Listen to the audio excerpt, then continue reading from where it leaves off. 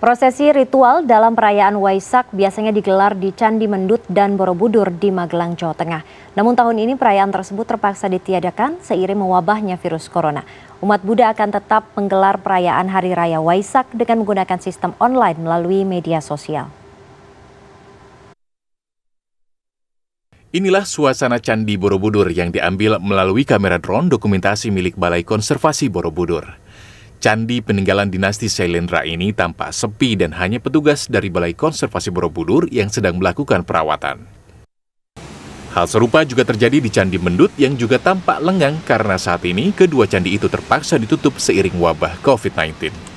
Bersamaan dengan penutupan kedua candi tersebut, perayaan Hari Raya Waisak terpaksa ditiadakan.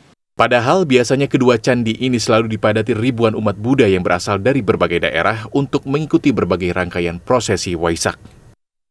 Kegiatan um, Waisak di tahun 2020 ditiadakan dan mereka akan melakukan uh, peringatan tersendiri melalui media uh, televisi maupun media sosial lainnya.